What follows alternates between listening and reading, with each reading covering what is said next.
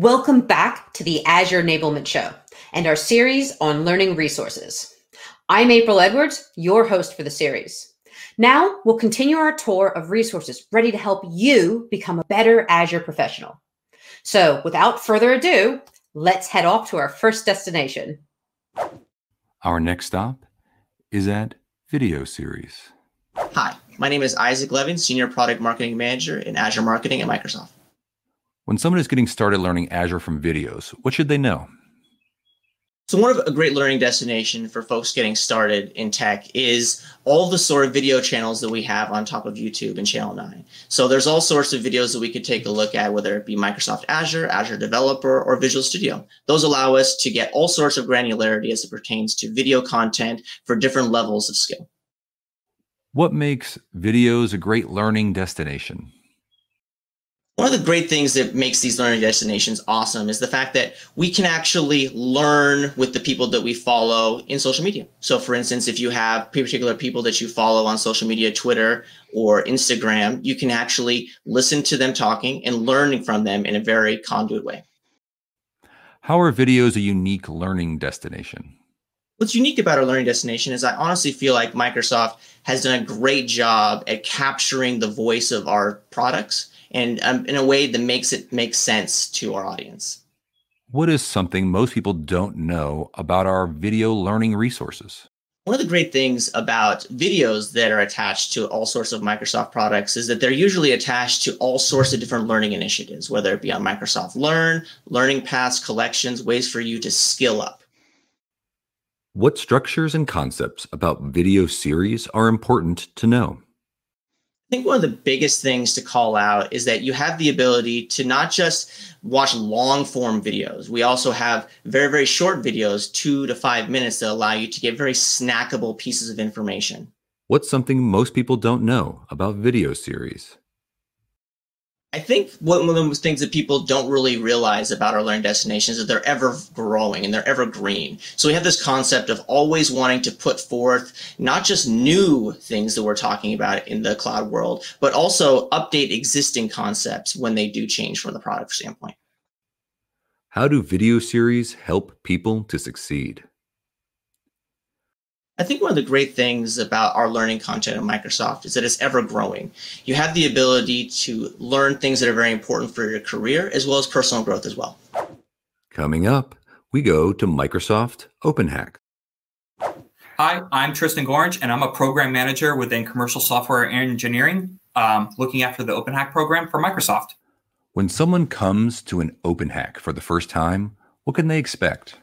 Microsoft OpenHack is a hands-on, challenge-based, deeply technical upskilling experience where development teams progress through increasingly difficult challenges based on real-world customer scenarios designed to mimic the development journey. Um, when teams join an OpenHack, they're typically comprised of five participants and one coach, where they are formed at the very beginning of each OpenHack each team will act as its own dev crew, if you will, um, each one complementing each other's skill sets and experience so that they can complete each challenge based on the success criteria defined, all with the coach guiding them along the way. Teams are assigned a shared login to access the OpenHack Classroom where gated challenges are presented both with success criteria and additional resources for them to complete each challenge each participant will receive their own unique login to access a pre-provisioned set of resources, whether that be in, in, Azure or other related services, so that they can then go complete each one of those challenges or tasks at hand. Teams who successfully complete an OpenHack will ultimately be able to demonstrate their new learnings with all their skills and um, uh, workloads um, in their daily environments. What makes an OpenHack event a great learning destination? What makes Microsoft OpenHack great is it's a learning destination that really connects development teams with experts to tackle a series of real world challenges through hands on experimentation. What makes an OpenHack event a unique experience? What makes OpenHack unique is that it's an immersive, team based experience where you get hands on with the technology. The whole concept behind OpenHack is for participants to actually learn by doing. Do OpenHacks have structures or concepts people should know about? Microsoft OpenHack is structured around challenge based content that is increasingly difficult as you progress. Those who register for OpenHack will receive prerequisites in advance around suggested learning courses and toolings to come prepared with. Courses like at AZ900, relevant boot camps, cloud skill set challenges. These are all great experiences that would only enhance one's experience at an OpenHack. How does OpenHack enable people to succeed? OpenHack helps people succeed by enabling them to get hands on with the technology. By going through the OpenHack experience, one should be able to take what they learned and apply it in their everyday engagements. Our next stop takes us to Microsoft Reactors. Hi, I'm Emily Hove, and I have the pleasure of running the program management team for the Global Reactor program for Microsoft. When someone comes to Microsoft Reactor for the first time, what can they expect? Well, the best way to get started with a reactor is to join our community. We um, are found on meetup sites all over the world. And once you join our community, you have a range, uh, access to a wide range of events that are developed by developers, and they are curated by uh, developers and IT pros for developers and IT pros. So there's a mix of content, whether you're just a beginner or you're more intermediate or advanced in your career, there's a wide variety of content delivered by Microsoft professionals, by our partners, and by third party communities. What's something non obvious about Microsoft Reactor? Well, reactors are so unique in that we offer a wide variety of content every week. There really is something for everyone, no matter what your interest is or your skill level.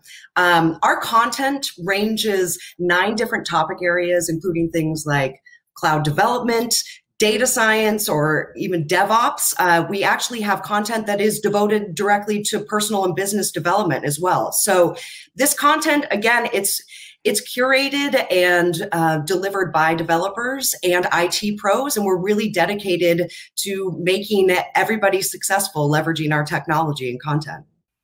What makes Microsoft Reactor a unique learning destination? What's unique about reactors is we really offer a diverse mix of events. And whether that is hands on workshops, whether it's expert panels or community events, there is something for everyone, and there is something running basically around the clock all over the globe. How do I get started with Microsoft Reactor? Reactors are so easily accessible to everyone. All you have to do is go to our meetup site or to our website, and there is a wide range of content for everyone. You can just search on it, register, and join an event at any time. What are some tips and tricks to the Microsoft Reactor experience? I think tips and tricks about the reactor is try it all out. Try out all of our content. We're now offering not just one off events, but we're also really experimenting with series. So you can really span your learning career, starting with something, you know, as a beginner um, and taking it on through a weekly series and really developing your knowledge base. What's something most people don't know about Microsoft Reactor? I think people don't know that reactors were really built and started and rooted in community. And so our dedication to the community is just paramount. And we want to hear from the community. We want to make sure that we're providing the content that our community wants. And so we really enjoy feedback. Um, and we just leverage all of our experts within Microsoft and some of our partners too to develop our content. It's really a learning first, community first organization. How does Microsoft Reactor help people succeed?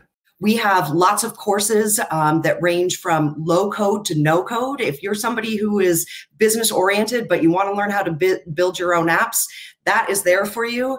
If you are a deep down, heads down developer, we also provide you with access to experts in those areas to expand your knowledge base.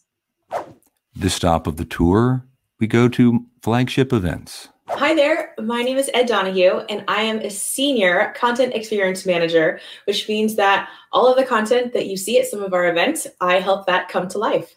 When someone goes to a big Microsoft event, how should they get started?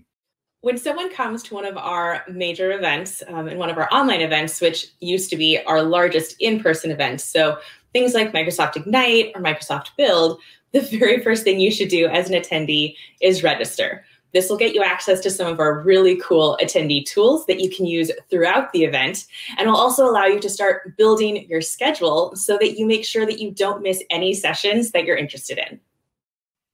What is unique about events that makes them a great learning destination?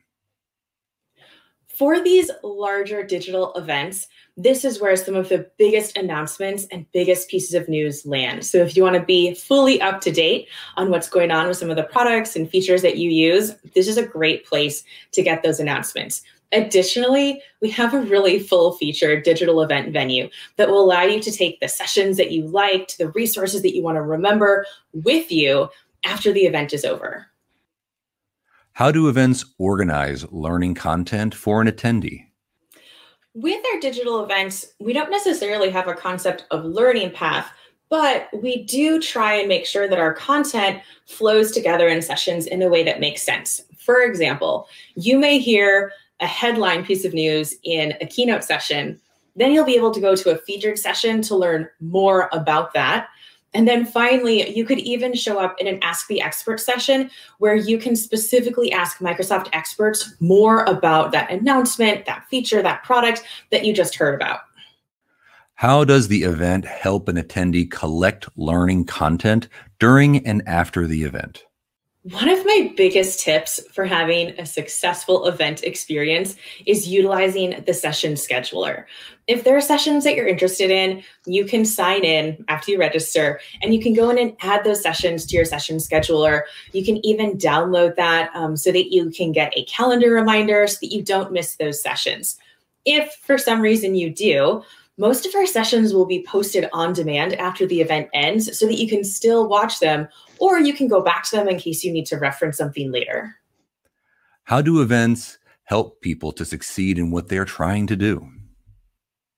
We view the flagship events as really starting someone along an entire learning journey path.